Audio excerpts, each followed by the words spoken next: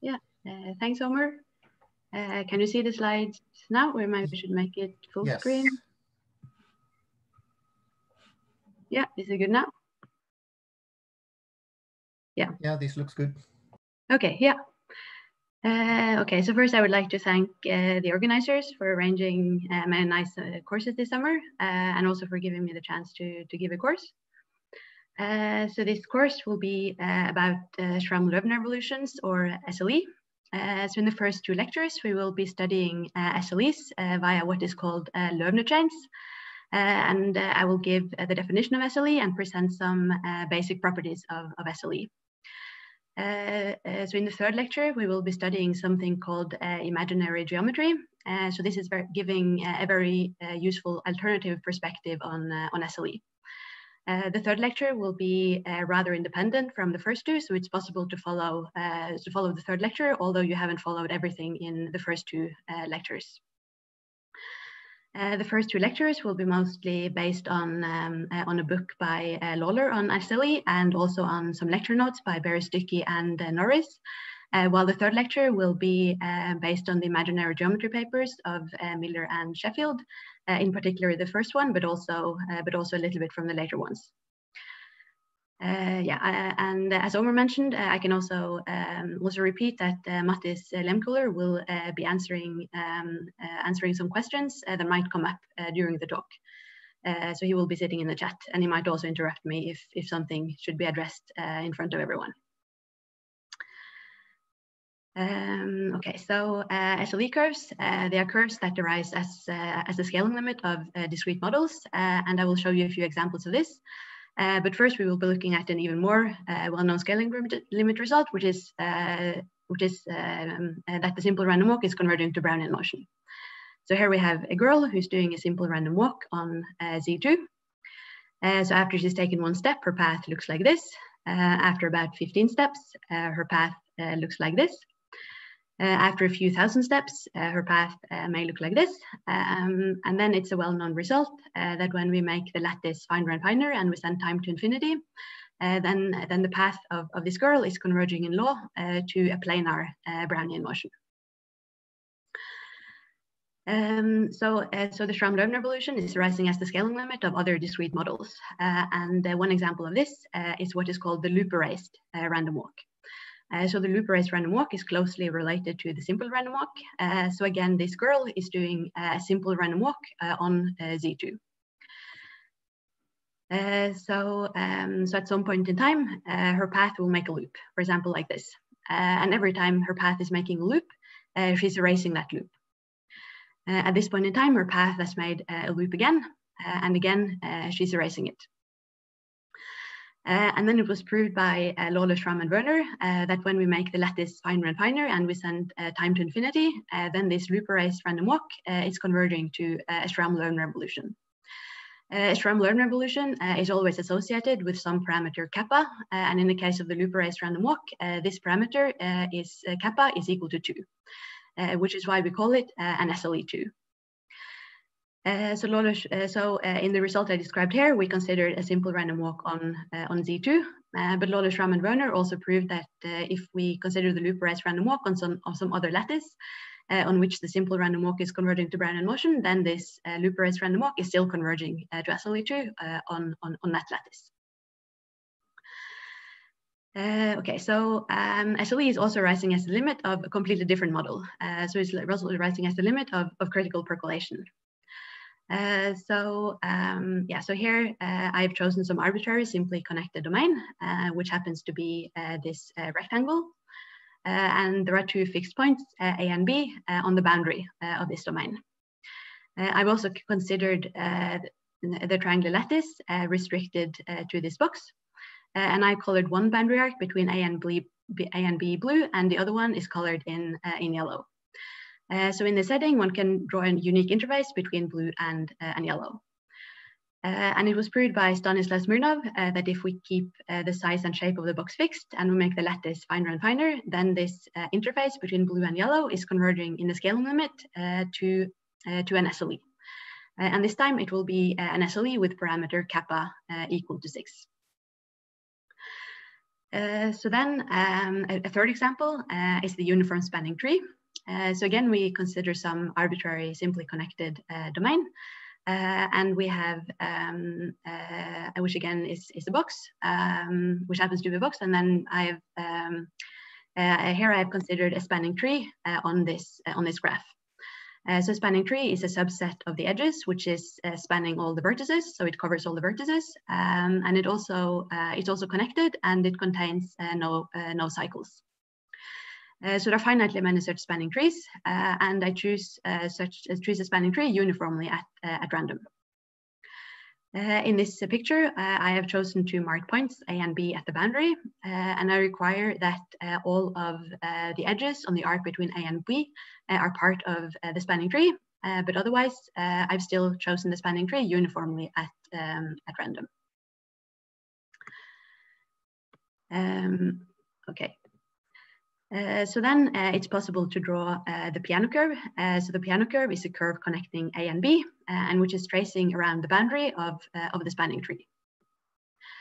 Uh, so this is uh, the same picture again, um, but where the um, but where the lattice has been made finer. and then it was also proved by Lawler, Schramm, and Werner that in the scaling limit, this Peano curve is converging to an SLE. and this is an SLE with parameter kappa equal to, to 8. Uh, and they and uh, they proved this by using a close relationship between the loop erased random walk and uh, the uniform spanning tree. Um, okay, so uh, so in order to introduce uh, Schramm-Loewner evolutions, we will need uh, quite a bit of complex analysis. and I start by recalling what a conformal map is. So a map, so we have a map F, um, which is defined on some um, open domain D in the complex plane and which takes values uh, in a domain d tilde, uh, also in the complex plane. Uh, so this map is conformal if f is bijective and if the derivative of f exists. Uh, so in the literature, there is actually also another uh, slightly different definition of conformal map. Uh, so sometimes one will see a definition where f is not required to be bijective, but where one instead requires that the derivative of f is non-zero everywhere. Uh, and that alternative definition is, is weaker than the one uh, we are considering here. Uh, so it's possible to show that if f is conformal, uh, then it satisfies the Cauchy-Riemann equations. Uh, so identifying the complex plane with R2, uh, we can view f as a function from a subset of R2 to a subset of R2. Um, and um, by using that, um, that the derivative of f exists, it's possible to show uh, that the coordinates functions uh, satisfy the relationships uh, shown in the lemma. Um, yeah.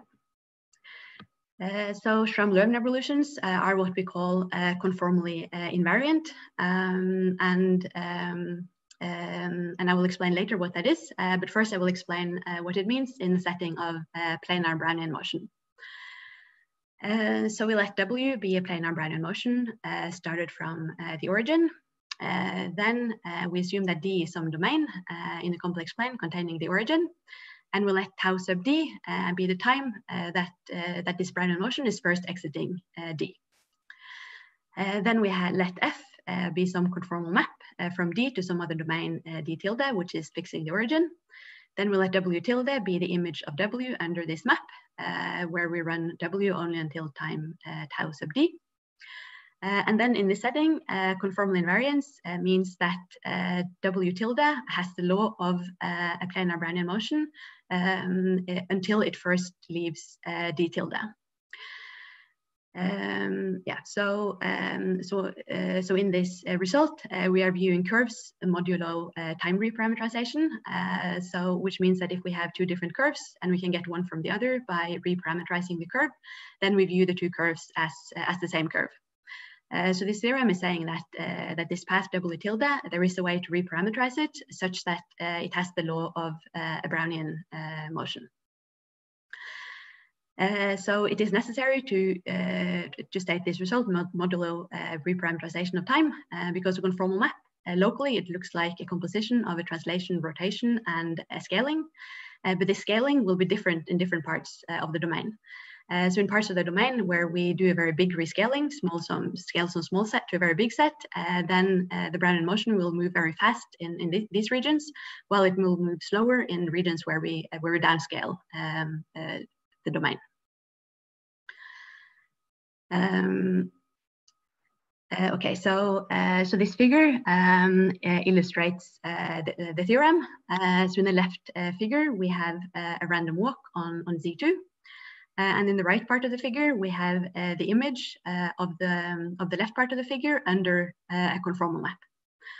Um, so if we look at these two figures from a distance, we see that they are maybe not so different. So if we just zoom out and we ignore the small uh, details of the paths, uh, then uh, it's not so easy to see which uh, path is a random walk on, on Z2 and which one is a random walk on, uh, on the modified uh, lattice. and in the scaling limit, these two paths will have the exact same law. Um, yeah, so, so both of them will be uh, planar Brownian motions. Um, so uh, so in, in the right figure, uh, the path will move uh, faster in, in regions where the lattice is big and slower in regions where the lattice is, is smaller. Uh, but modular time reparameterizations, they will be uh, the same in, in the scaling limit. Um, so the proof of, uh, of this uh, theorem, um, conformal invariance of Brownian motion, uh, is just stochastic calculus and I've left most of it uh, as an exercise. Um, so, um, so to prove it, uh, you can first define the coordinates functions, um, W1 tilde and W2 tilde of uh, W tilde. Uh, and then it's possible to show by using uh, Ito's formula and uh, the Cauchy-Riemann equations that these two functions, um, that they are local martingales. one can show that the quadratic variation of these two um, functions are the same. Uh, and one can also show that the quadratic covariance is equal to zero. zero. Uh, so from these uh, three properties, um, uh, one can use uh, one can use um, standard results in stochastic calculus um, uh, to to deduce that the process must be a planar Brownian motion. so one can use the characterization result, sometimes known as Lévy characterization of, of Brownian motion. Uh, so from the first two bullet points, one can get that uh, W1 tilde and W2 tilde, that each process um, is a time-changed uh, Brownian motion. Uh, from the second bullet point, uh, one also gets that the time that the time change is the same for the two processes. And from the third bullet point, one gets that these two processes are independent of each other. yeah. Uh, so that's all I wanted to say about uh, the planar Brownian motion for now. Um, and uh, the next uh, goal will be to uh, give a definition of SLE. but before doing that, I need to do quite a bit more complex analysis. so I start by recalling the Riemann mapping theorem. so the Riemann mapping theorem is saying that if D is some simply connected subset or simply connected domain in a complex plane, which is not equal to the full complex plane and which is not empty, uh, then there exists uh, a conformal map from D and to the unit disk. Uh, so this conformal map is not unique. Uh, and roughly speaking, we can say that when we choose this conformal map, uh, then we have three degrees of, freedom. for example, we can choose three points, A, B, and C on the boundary of, of D. And then we can require that these are mapped to plus minus i and 1. Uh, so the reason we have these uh, three degrees of freedom is that if we uh, look at the set of conformal maps from the unit disk uh, to itself, uh, then this space of conformal maps can be parameterized by, by three real numbers. Um, okay, so so now we assume that eta is some curve um, in the upper half plane, which starts at the origin and which ends at infinity. Uh, so for example, uh, eta um, uh, can be a simple curve, uh, such as shown in the left figure, so a curve which never visits the same point twice. Uh, it can also be a non-simple curve, as, as in uh, the right figure. So in the right figure, you see a curve um, which it's hitting its past multiple times, but every time it hits it past, it's, um, it's jumping off again without crossing the curve. Uh, so for now, I will not put any more restrictions on, on eta, uh, but later the curves eta we're interested in, they will typically also satisfy uh, some other constraints. Uh, so then we're defining a set uh, k sub t um, to be the sets which are disconnected from infinity by the curve at time t. Uh, so one way to define the set, uh, one alternative way to define the set k sub t uh, is to first uh, run the curve uh, up until time t. Uh, so when we do this, uh, we will uh, get um, then the set H minus the curve will consist of one or more uh, connected components. and then there will be a unique unbounded component. and we define k sub t to be H minus this unbounded component. Uh, so in the left figure, k sub t will simply be the curve uh, run until time t. Uh, in the right figure, uh, then uh, k sub t will be the union of uh, the domains that are disconnected from infinity at time t. Um, and then it will be the union of, of, of, these domains and the curve itself.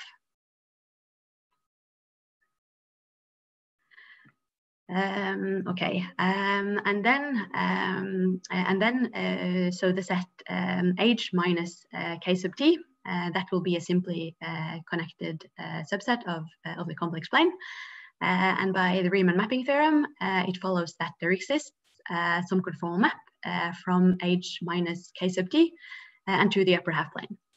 Uh, and we also require that this, um, that this conformal map, which we call G sub t, that it sends uh, infinity uh, to infinity. Uh, so uh, in the figure, I've illustrated this uh, in the setting of a simple curve. So what you can imagine is that you um, have the upper half plane, you take up a scissor and then you cut the curve, and then you cut along the curve. so you make a slit in the upper half plane starting at zero, then you cut along the curve until you reach the point eta of t. Uh, so this will give you a slit domain where the curve has been removed. Uh, and this and this slit domain is what you are mapping uh, to the upper half plane uh, via uh, this map G sub t. Uh, so it's possible to argue uh, that in this uh, setting, then the tip of the curve can be map is mapped to a unique point on, on the real line. So this map G sub t that I just defined, it extends continuously to the tip of, of the curve and is mapped to some unique point on the real line. Uh, it's also possible to show that G sub t is extending in a certain sense to the, to the curve itself and also to the real line. Uh, so if we look at the left part of the curve, then that is mapped to some interval on, uh, on the real line, uh, which is lying to, to the left of, of the image of the tip. Uh, while if we look at the right side of the curve eta, then that is mapped to some uh, other interval on the real line, which is to the right of, of the image of, of the tip. so these two intervals are shown in, in red on the figure. Um, okay, so um, yeah, so that's um, the so that's uh, G sub uh, t. Uh, so it's um, so we can um, so we can look at the expansion uh, of this map G sub t around uh, infinity, uh, and I claim that it has an expansion on the shown form. Um, so I will not give a full proof of why we have such uh, an expansion, um, but um, um but the one way to prove it is to look at the map uh, G tilde sub t uh, that I have defined below. Um, so this map uh, G tilde sub t, so that will send the upper half plane minus some slit to the upper half plane. And since G sends infinity to, to infinity, then G tilde sub t will send zero to zero. Uh, so then it's possible to argue by something known as uh, Schwarz uh, reflection uh, that um, this map, uh, G tilde sub t, that it extends to some conformal map, which is also defined in some neighborhood around the origin. And it's also possible to show that this extended map, it maps points on the real line to points on the real line. so by using that, we have such a uh, that we have a map which is defined in, in the neighborhood of the origin, we can uh, consider the Taylor expansion of this map. And we also see that all the coefficients in the expansion has to be real, since points on the real line are mapped to points on the real uh, line. Uh, so now we can, uh, by using the expansion uh, that we have for G tilde around zero, and by using the relationship between G tilde and G, then we can get that G sub t has, has the shown expansion. Uh, so then uh, we can fix uh, g sub t by requiring that the first coefficient in this expansion is equal to, to zero and the second is equal, is equal to one and the second is equal to, uh, to zero. Uh, so roughly speaking, this is uniquely determining the map g sub t um, because I said earlier that we have three degrees of, of freedom when we choose the map g sub t. Uh, so the formal proof that this is uniquely determining G sub t is maybe done in a slightly different way, but heuristically uh, speaking, uh, these three degrees of freedom is the reason that this uniquely uh, determines um, G sub t. Um, okay, so um, so the map, uh, so the set K sub t, uh, we call it the hull at time t, and we say that G sub t, we call we call that function the mapping out function at time t. Uh, so one small remark uh, is that at this uh, slide, I considered a collection of sets, k sub t, indexed by time. I also considered, considered a collection of functions, uh, g sub t. Uh, so they're also indexed by time, um, but uh, the time parameterization is not really important for anything that I've done on this slide. so we can define a compact H-hull to be a bounded subset of H such that the complement is open and simply connected. And if we have an arbitrary uh, compact H-hull, then it is possible to associate it with a mapping out function G uh, in a similar manner as I did uh, on the compact uh, on this slide. So the fact that we had the time parameterization was not really important for, for the definition of, uh, of these uh, objects, of the objects on, on this slide. Um, okay. Um, so then we have, um, we recall from the previous slide, uh, that we have a function uh, g sub t, uh, which is mapping the complement of k sub t to the upper half plane.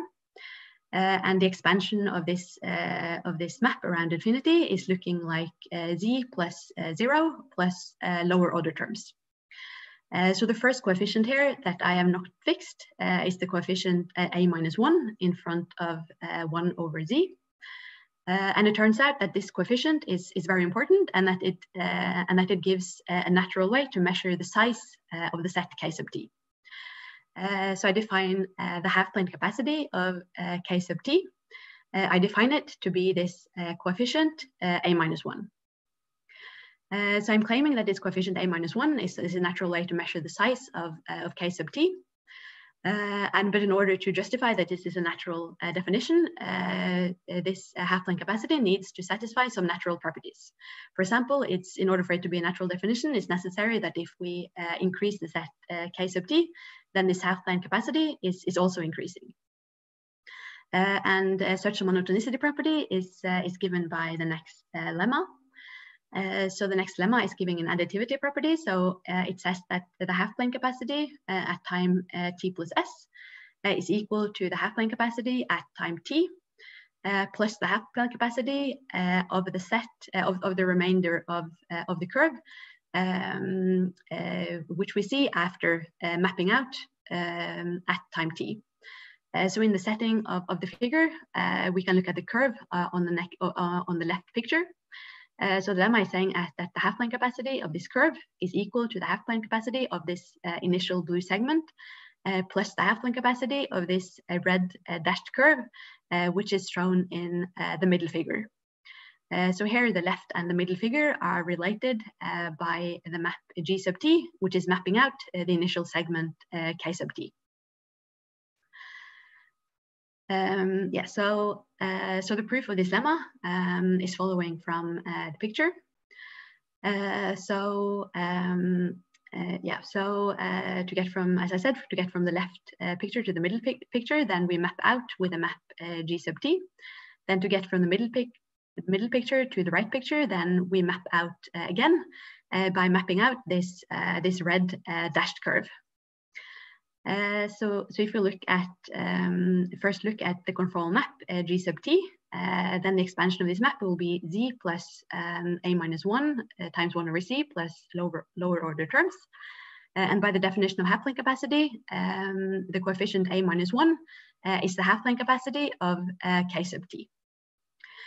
similarly, we can look at the second time we map out, uh, so we can also expand uh, this map around infinity. Uh, and now we see that uh, the coefficient uh, b minus 1 in front of 1 over z, we see that that uh, gives us the half-plane capacity of this red dashed curve in, the middle, in the middle figure. okay, so we have these two, we have mapped out twice. we can also look at the composed map. so we compose these two mapping out functions, and then we look at the expansion of this composed map around infinity. And what we will see is that it can be written on the form z plus zero uh, plus, um, plus um, a minus one plus b minus one times one over z. Uh, so what we can observe now um, is that this uh, composed map, it's actually also on the, on the form of uh, a mapping out function. Uh, and it is uh, a map which sends the complement of the original curve to the upper half line and which has the expansion around infinity, which is characterizing a mapping out function. Uh, so this, uh, this composed map is actually uh, the mapping out function of the original curve. Uh, so um, yeah, so uh, by, by using this, um, we see that the half-plane capacity of uh, the left curve is actually a minus one plus a b minus one, because this is the coefficient of one over z uh, in, uh, in this um, uh, mapping out function of, of the curve. Um, okay, uh, so then um, another natural property that this half-plane capacity is uh, satisfying uh, is that it also satisfies some scaling property. so if we have some set and we rescale it by r, then the half-plane capacity is, is, is scaling like r squared. Um, so uh, the way to prove uh, this lemma is that we can define uh, some function g tilde sub t to be a rescaled version uh, of the original mapping out function. Uh, and then we can observe that this function g tilde sub t, that that is the mapping out function of this uh, rescaled set. so you can ask, how can we see that this function g tilde sub t is the mapping out function? Uh, so, uh, so we can um, see this by, uh, by expanding it around uh, the origin.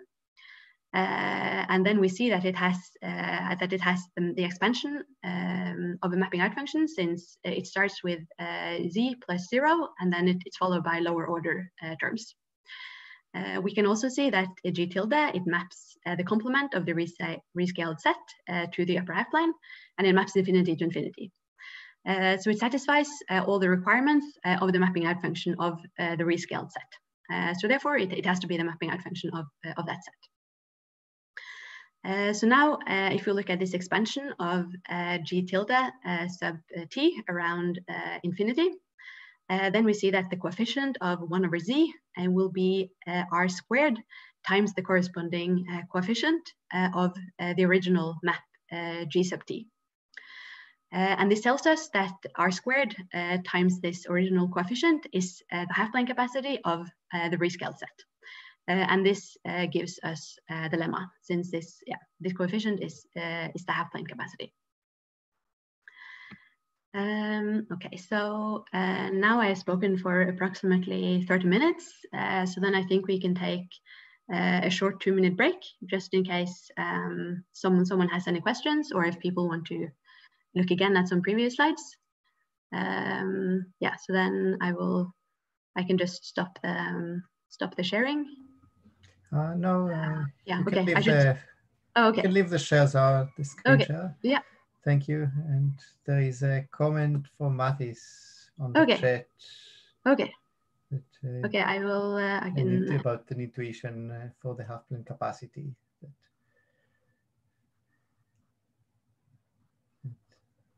if there are any questions at this point, uh, please feel free to ask on the chat.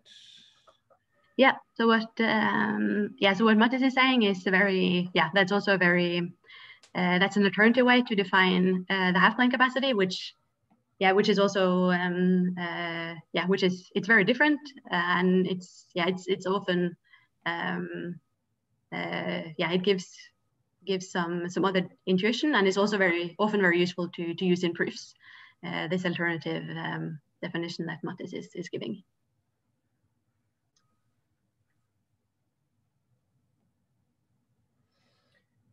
Okay, so if there are any questions, ask on chat. If not, we will continue in a couple of minutes. Yeah.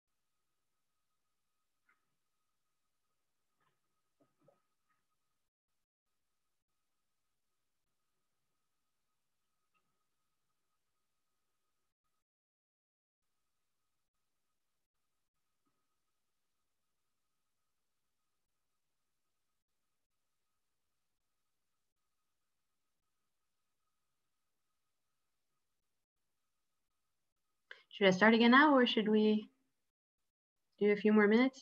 What do you think?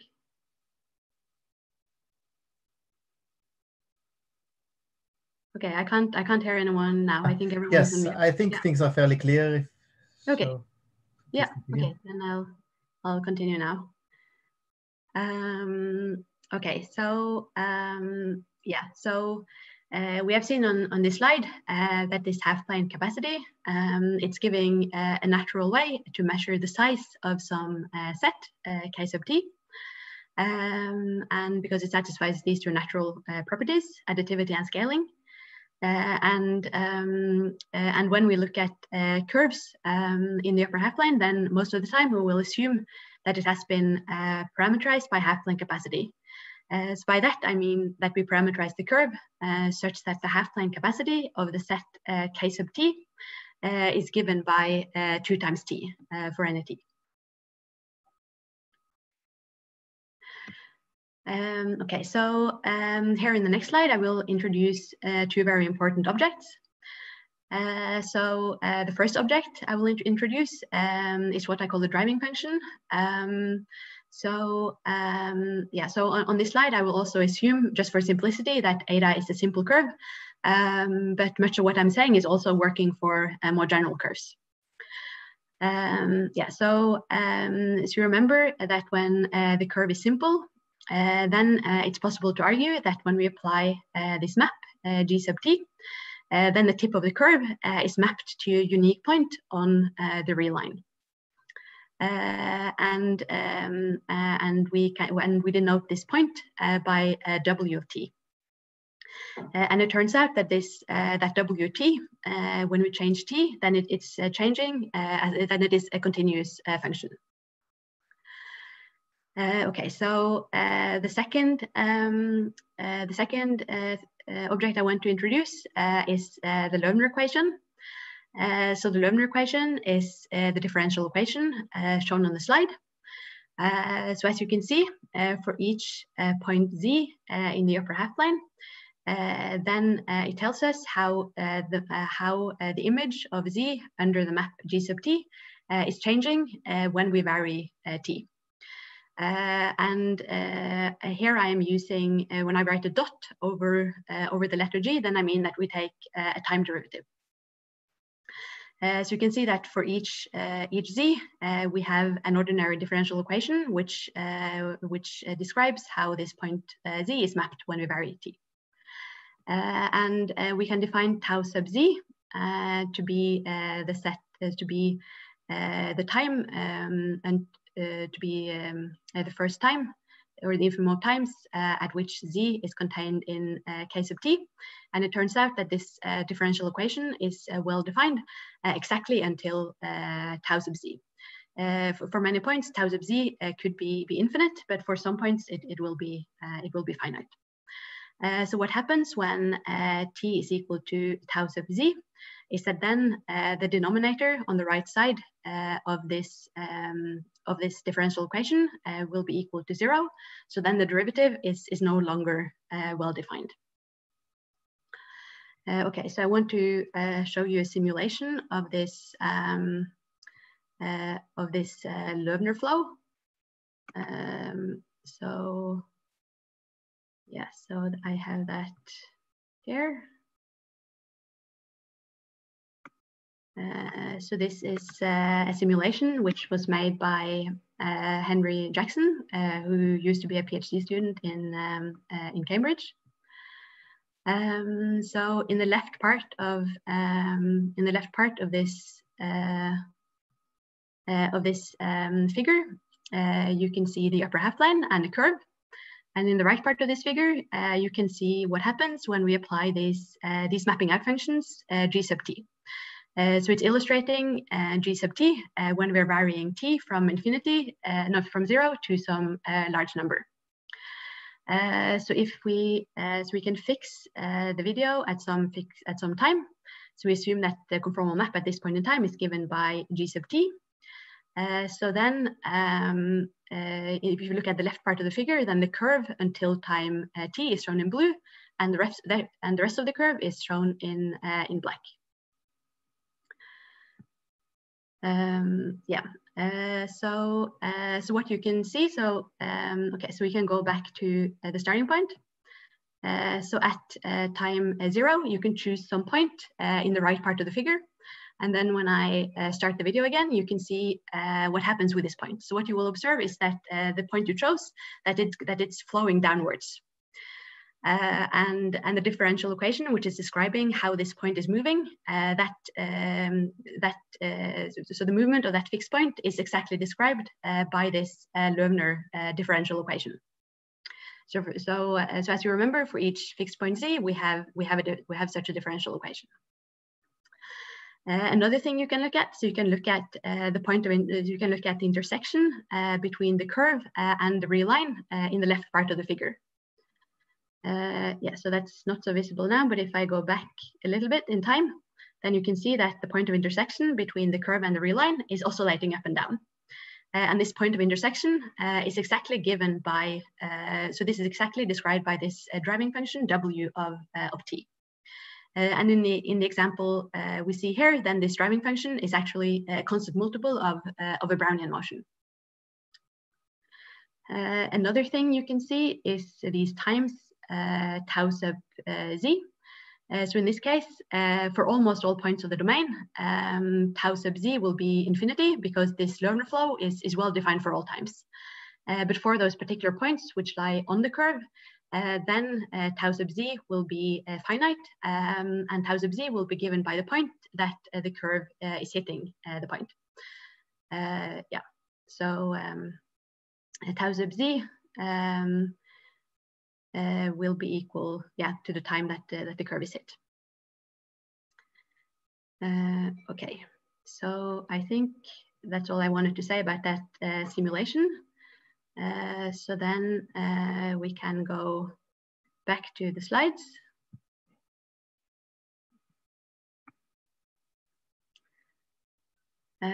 okay.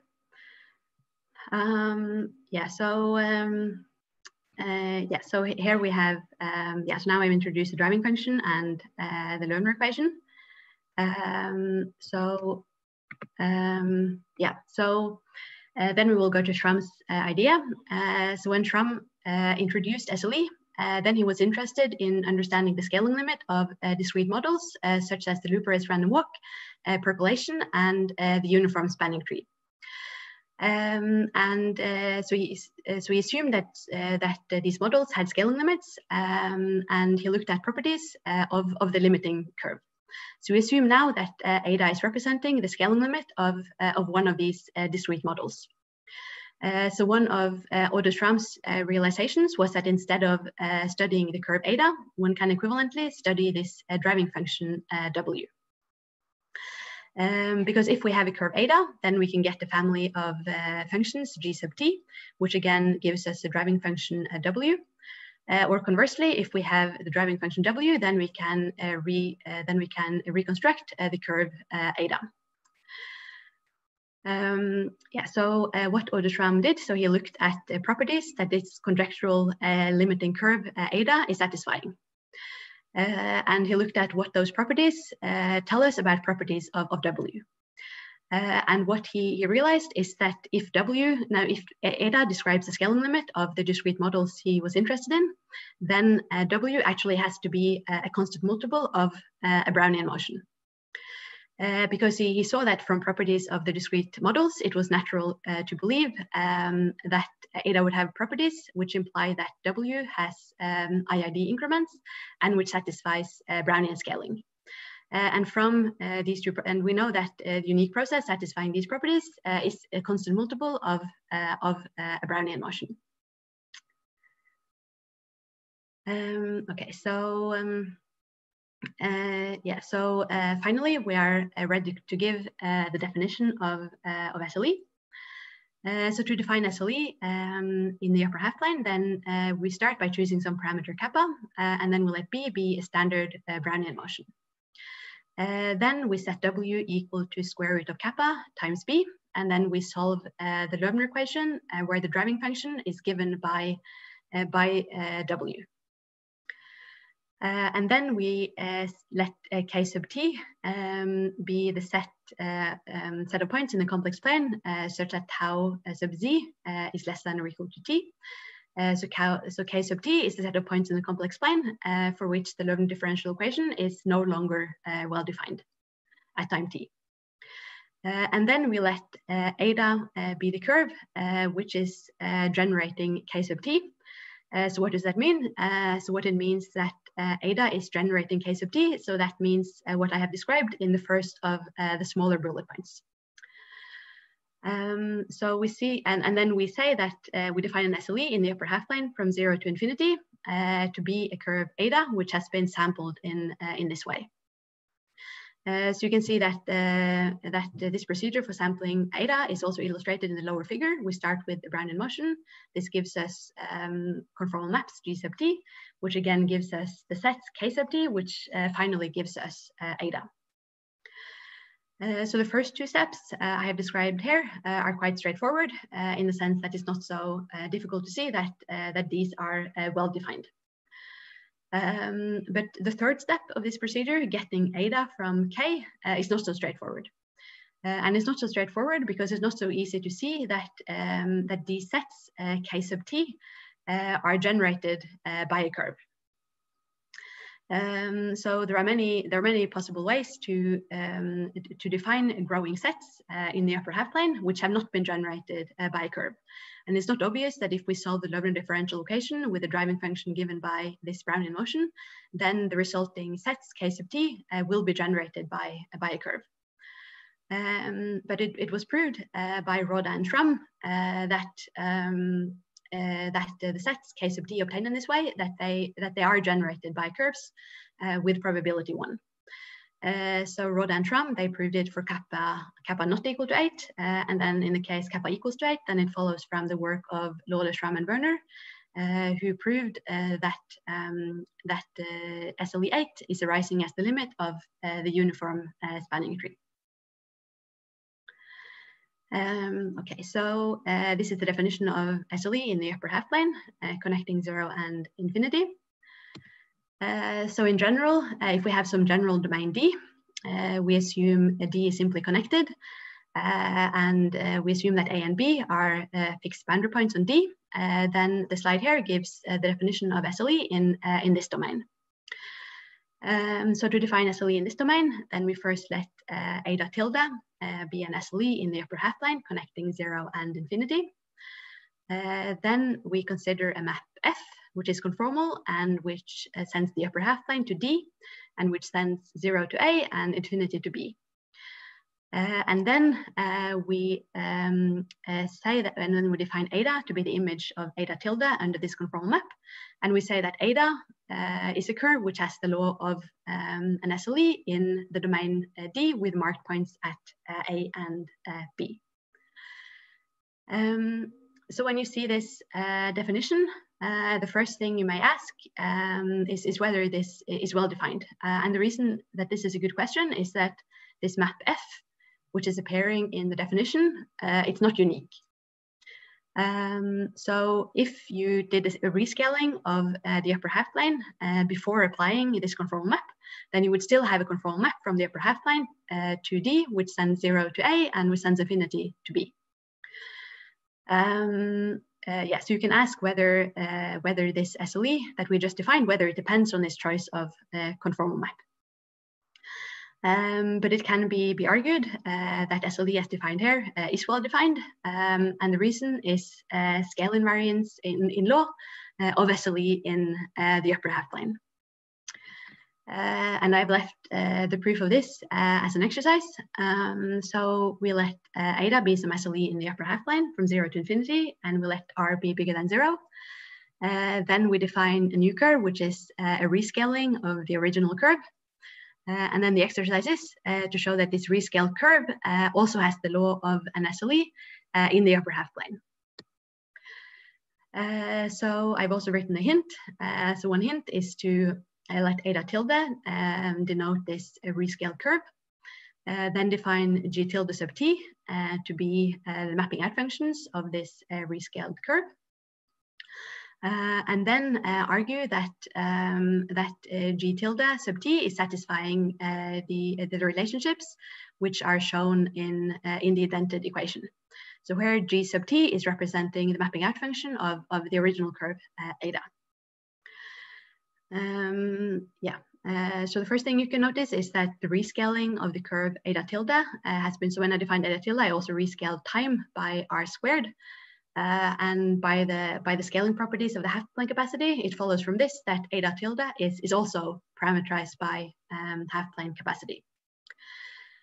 Um, yeah, so um, so what you can see um, is that in the indented equation, you see that um, you see that um, uh, G tilde is also satisfying uh, the Loewner equation, and you see that it satisfies the Loewner equation uh, with a rescaled version of of the original uh, driving function uh, W. but now, um, in order to conclude the proof, you can observe that this rescaled version of the driving function that that is is also uh, that had also has the law of uh, of a Brownian motion, um, by and this follows by by Brownian scaling. Uh, so by using this, you can see that G tilde sub t is also satisfying the Loewner equation with with driving function given by a Brownian motion, and then you can use use that to uh, to conclude. Um, okay, uh, so now we have um, uh, we have the definition of, of SLE. Uh, so um, yeah, I will say uh, a little bit um, a little bit more before before I finish. Um, so um, so as I mentioned before, uh, Schramm, he introduced um, SLE because uh, while he was studying scaling limits of, uh, of several discrete models. Um, and uh, he realized that if these um, discrete models uh, have scaling limits, then these uh, scaling limits would have uh, two properties in common. and these properties are conformal invariance and the domain Markov property. and these are the properties that I will introduce before I finish.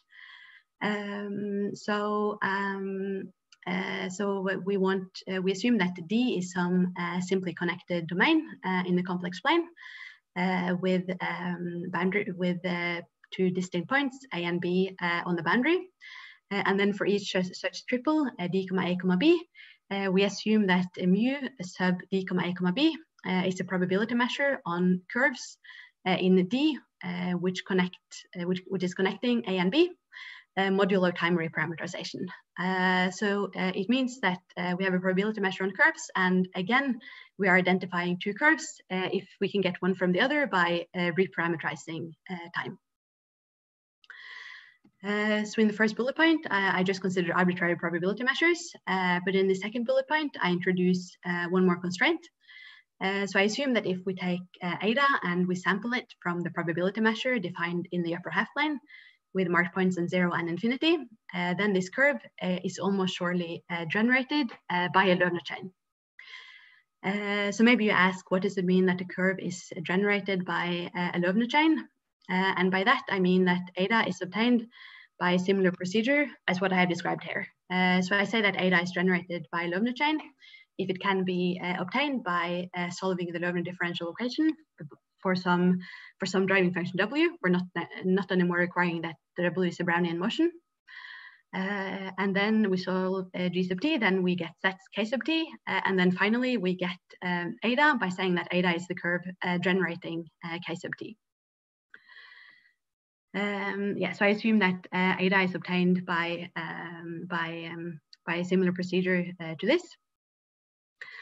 Uh, and then um, uh, I say uh, that, that these probability measures, that they are conformally invariant if the probability measure in, in domain D is related to the probability measure in D tilde by a conformal map.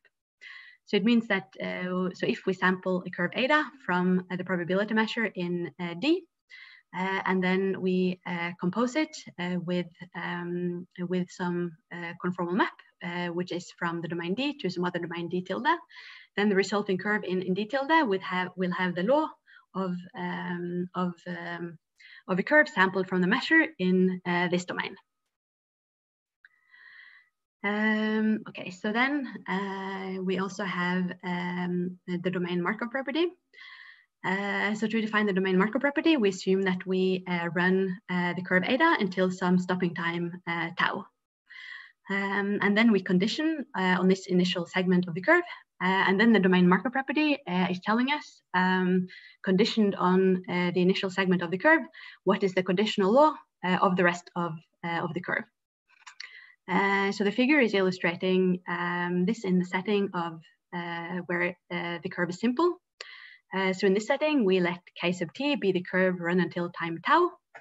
Uh, yeah, we let k sub tau be the curve run until time tau. Uh, and then um, we see that the set uh, d minus k sub tau uh, is simply connected. Um, and we, um, when we also see that eta of t and b um, are two marked points on the boundary of this domain, uh, so therefore, um, uh, therefore we know that we have some probability measure um, mu, which is defined in, in this uh, domain with the two marked points. And then the domain Markov property is saying that conditioned on the initial segment of the curve, the rest of the curve has the law of, um, of a curve which has been sampled from our probability measure in the slit domain, obtained by removing the initial segment of, of the curve. Uh, yeah, so um, yeah, so these these are the two um, uh, properties. Uh, so um, so then uh, uh, was proving that um, uh, that um, uh, that these probability measures they are conformally invariant and satisfy the domain Markov property if and only if a curve sampled from one of these measures is an SLE curve. Uh, so we prove that SLE curves, they are conformally invariant and satisfy the domain Markov property. Uh, and conversely, uh, if we have a family of measures satisfying these properties, then they have to be uh, SLE curves. Uh, and this theorem is exactly what was motivating him to um, motivating him to, to introduce the SLE curves because he uh, he realized that um, that many of the discrete models he were interested in uh, they were uh, believed to have, um, they were believed to be conformally invariant and satisfy uh, the domain Markov property uh, in the scaling limit. So by this theorem, uh, the only possible uh, scaling limit are SLE curves. Um, okay, uh, so um, yeah, so in the next slides, uh, I wanted to give you some more intuition for these two properties, conformal invariance and domain Markov property. Uh, in uh, the discrete setting. Um, so I think I will maybe be doing conformal invariance before we before I finish. Uh, so um, so the, the measure mu sub d comma a comma b it's typically representing the scaling limit of some uh, discrete model um, in the domain D with marked points A and B. For example, in the setting of percolation, then we can consider percolation restricted uh, to the domain uh, D, uh, where A and B uh, mark the points at which the boundary data change. Uh, and then um, mu sub d comma a comma b is representing um, the scaling limit of uh, the interface of the discrete model in this domain D. Uh, so then um, we can uh, do this procedure for two domains, D and D tilde, uh, and then conformal invariance, uh, as I stated on the previous slide, conformal invariance means that the, these two probability measures mu defined in one defined in D and one defined in D tilde, that they are uh, related uh, by a conformal uh, map. Uh, okay, so I think that now I will finish the presentation for today. And then, yeah, but before we end, I can ask if there are any questions.